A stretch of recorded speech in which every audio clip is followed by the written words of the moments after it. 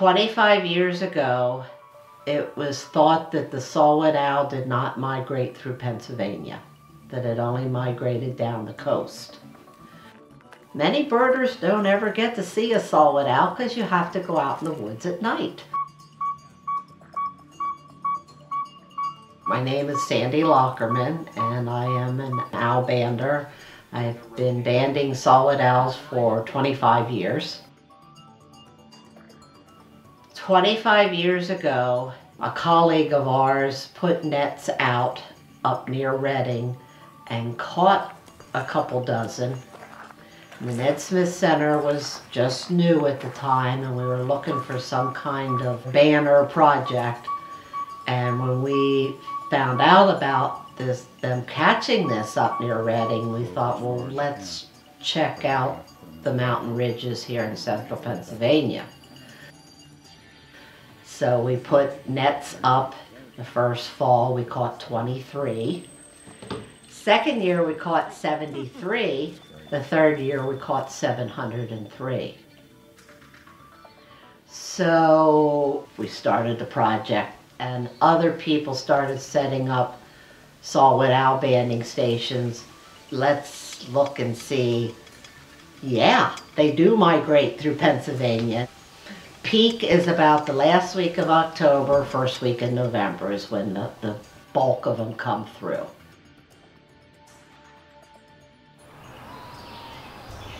I've always loved owls. I always loved birds. As a youngster, I had the Ned Smith posters from the Game Commission hanging in my bedroom. But I first started doing surveys and point counts for different projects and then when the Ned Smith Center said they were going to research the saw-whet owl, I jumped in and said, I'm in. I'm in, yeah. Banding is one of the, the biggest ways to know where these birds are migrating to and from. Four ounces.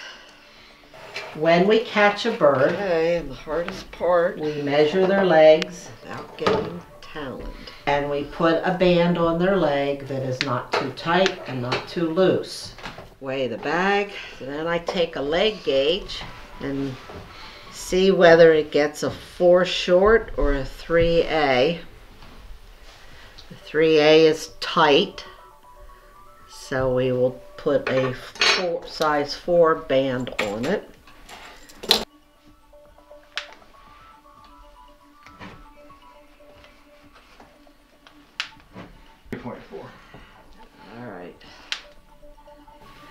Then if another bander catches it, four to six. Or if you find one dead along the road or in the woods, you can report that to the bird banding lab on their website and they will tell you where the bird was banded. And this is one of the, the biggest ways to know where these birds are migrating to and from. We have a very high percentage that get recaught. Saw-whet owls are about 15 to 20%. Songbirds are about 0.01%.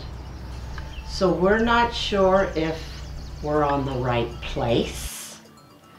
Is it the audio lure? Are there so few of them that we keep catching them? I think it's that we're at the right place. And they're running the ridge. They hear the audio lure. They're curious about, oh, what's that really loud saw-whet owl singing down there? And they come to check it out and get caught. Five, seven, four, two, six. So it's not any of ours from this year. Yeah, flip red. to one one oh four five seven. No, this is a foreign recovery. This is somebody else's owl. Hot wow. dog. Wow. wow.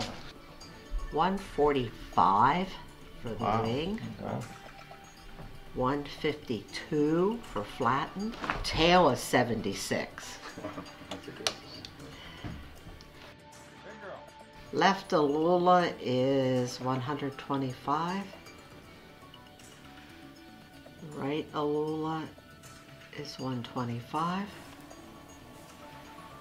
10.2. Blow in the wing pit to look at the subcutaneous fat. That's Yeah. the short term. A little bit of fat. Give her a one. And Keith is going to check its eye color. 329, 320. Okay. It'll be a second year, but just a couple were retained. But the black light will tell us for sure.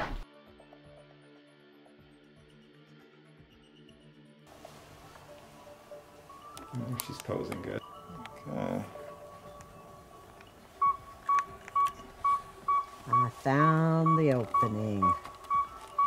So Gary gets it off. Okay. So we check both legs, make sure there's no band on either leg, and there is not.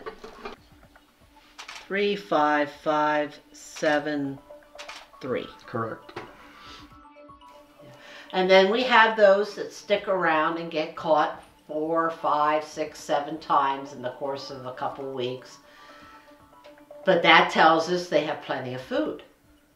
And then when the cold snap hits, they leave town and continue their migration.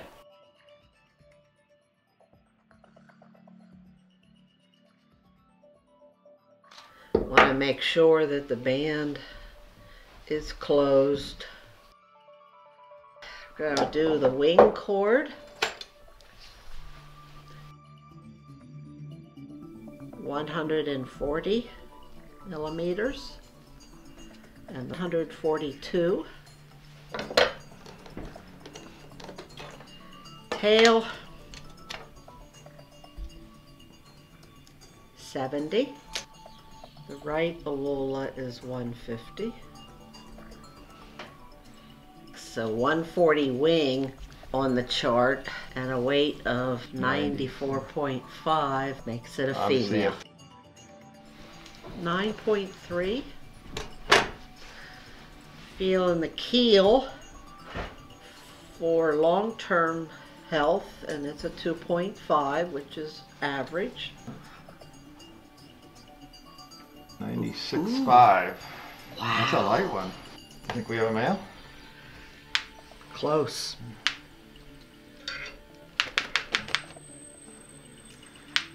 We didn't quite understand why they were mostly getting females Go ahead. Four, six, two. And we're starting to think that the males don't leave their territories. They stay put. How long is your wing? 126. Oh, 126. Definite male. Definite male? Yeah. Okay. 126. 74, seven. Definite male. 61. I'm sorry. 61. 61. Uh, 2.5.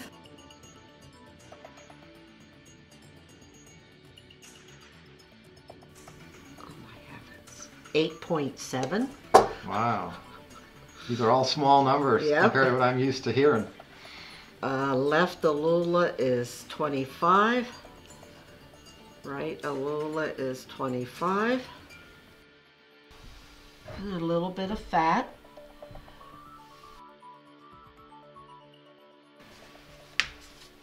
Oh, you're on the light side of things there. 336, I'm going to go with. Okay. Hatch year. Yeah. Mm-hmm. Yeah. I didn't think it would be an adult. Oh, nice, the same color. Mm-hmm. Oh, but we have to do a black light for you because the whole thing will be lit.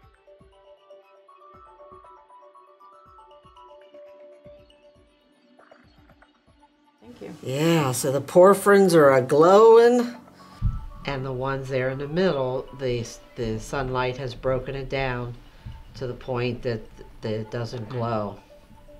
And sometimes it's very subtle to see it. Yeah. We know that they go down the coast. 112.3. But we also know now that they go down the mountain ridge because we've had our owls from here caught by other banders and we've caught other birds of other banders. So they are running these ridges just like the hawks, the eagles, the bats. They're following these ridges through central Pennsylvania. Two, two, two, two, two, two, two, two, and the rest are ones. And uh, so this way we can have a handle on the population and a handle on their health. So it's pretty exciting to help to uncover a mystery.